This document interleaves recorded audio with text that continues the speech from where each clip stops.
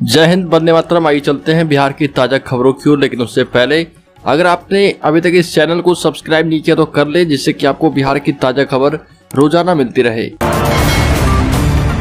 पहली और बड़ी खबर, बिहार मंत्रिमंडल में फेरबदल संभव है। चर्चा है कि मुख्यमंत्री राज्यसभा सांसद बन सकते हैं, और बीजेपी से कोई सीएम बनेगा, जबकि नीतीश कुमार उन सभी कयासों को झुटला चुके हैं कि ऐसा कुछ होने वाला है।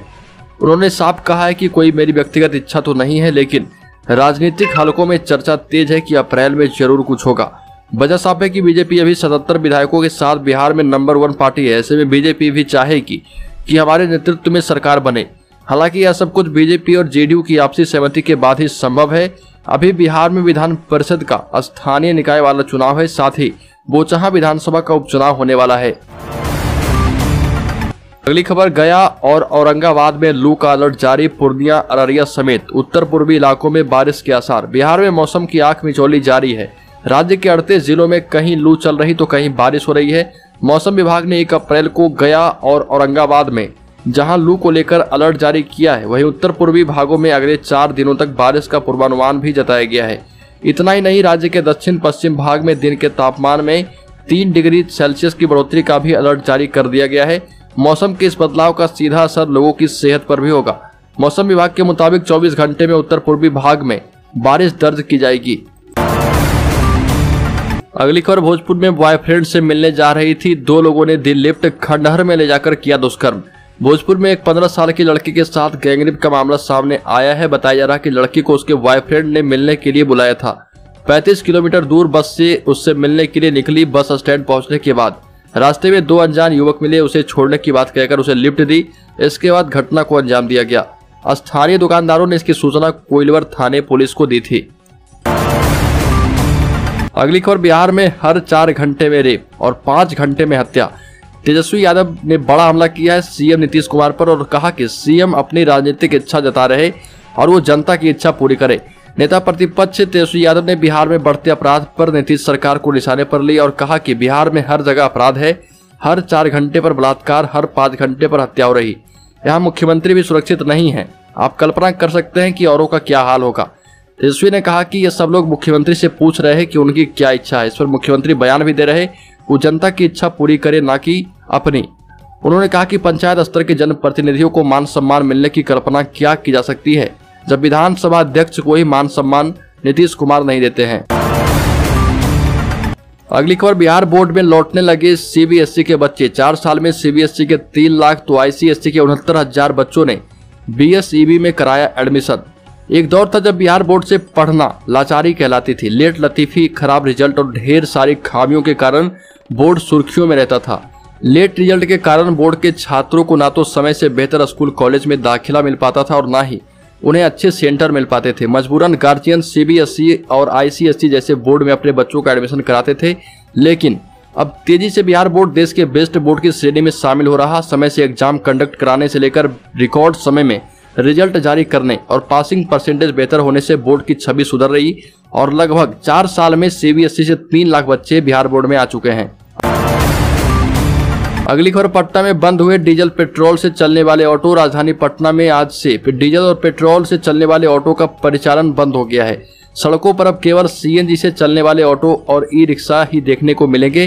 परिवहन विभाग का सख्त निर्देश है कि डीजल और पेट्रोल वाले ऑटो अगर आज से सड़कों पर चले तो जुर्माना भरना ही होगा। साथ में वाहन को जब्त कर लिया जाएगा। इसमें डीजल, पेट्रोल चलाने वाले ऑटो चालक परेशान हैं और उनका कहना है कि कोरोना के बाद आर्थिक स्थिति बदतर है।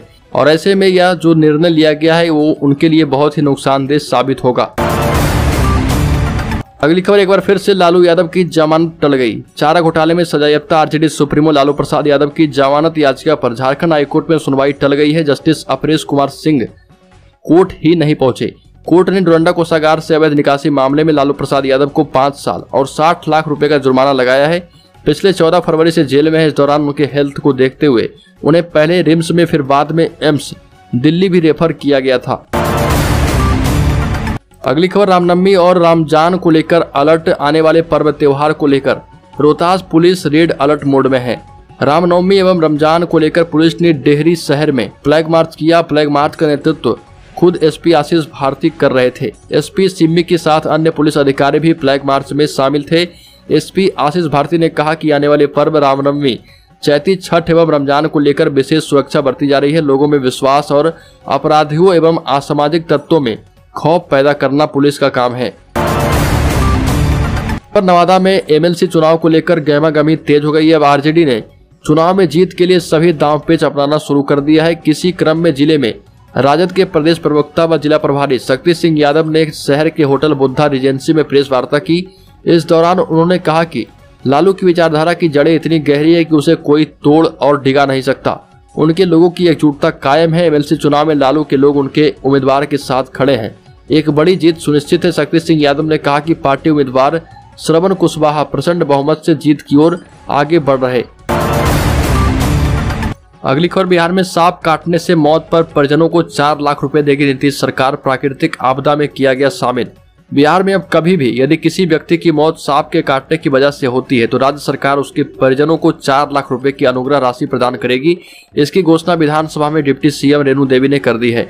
बिहार के किसी इलाके में किसी भी व्यक्ति की कभी भी सांप के डसने से मृत्यु होती है तो राज्य सरकार मृतक के निकटतम परिजन को चार लाख रुपए का अनुग्रह अनुदान प्रदान करेगी। बिहार विधानसभा में उप मुख्यमंत्री सह आपदा प्रबंधन मंत्री रेणु देवी ने इसकी घोषणा की है।